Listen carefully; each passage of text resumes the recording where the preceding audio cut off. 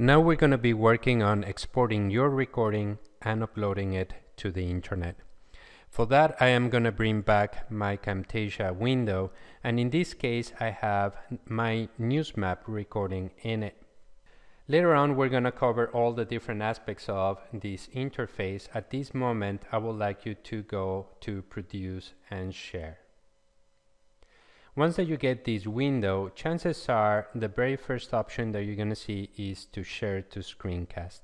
I would like you to please go to this drop down menu, click on the downward arrow and select MP4 only up to 720p.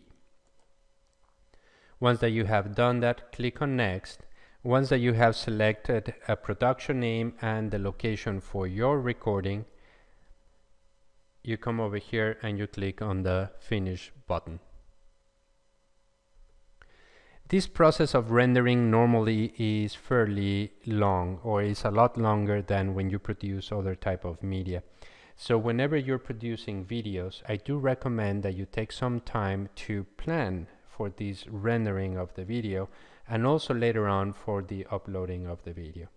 At this moment, I'm going to pause and I'm going to wait for this to be very close to 100 to continue the recording. Okay, we're almost there. Once that the rendering is complete, you're going to get a production results window just like this one. And you're going to see some of the details regarding your own production, how big it is, its final dimensions, and so on. If you would like to see the actual file, you can open this production folder and you're going to be sent to the location where you decided to save your production. Also, something that is going to happen when you do this is that it's going to automatically open your production in your default media player. In my case, I am using QuickTime at this moment, but for you, it could be the Windows Media Player. So I'm going to close this video I'm gonna open the production folder. I'm gonna click on finish here. And now I'm gonna work on uploading this file to the internet. The first step is to upload it to YouTube. And I am not going to cover the details about how to create an account with YouTube, um, but it is available for everybody and once that you create that account in YouTube the uploading of the file should be fairly simple. I'm gonna click and drag. Now YouTube goes through two different processes. The first one is uploading the file and once that the file has arrived to their server they actually process the file so it can be presented in Google. This might also take a little bit of time. When it's finally done, you're going to see this message over here and you're going to be able to select among different video thumbnails for your video. Also, you're going to be able to select if you want this video to be public, unlisted, or private, add a description, and so on. Once that all of this is set, you click on done, and your video is going to be available in YouTube at that moment. The next one is to upload the video to Google Drive. And it works in the same way as YouTube does. It doesn't really matter here what it is that you select. You can click on Start Upload.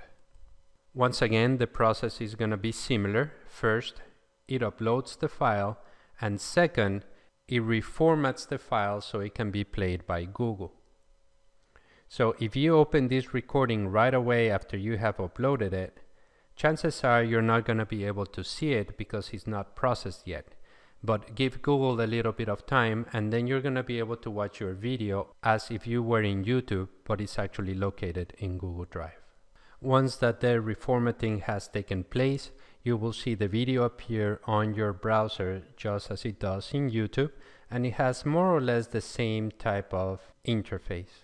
In the same way that you can share any document in Google Drive, you can select to share this video just with a few people or publicly. But we're going to cover details about these later on in the tutorial. Finally, you can upload the video file to a regular server like the one you have access in your own university. In this case, I just selected one of the folders in my own server account and I am going to click and drag the MP4 directly there. Once that the recording has made it, I can check that this will play directly on the browser. And there it is. I have copied and pasted the URL into the browser window and I got as a result a video that covers the full screen of the browser with very basic controls for playing. Because we exported an MP4 file, this file is gonna stream no matter what server you placed it on. So those are the three different methods for you to upload your recording to the internet.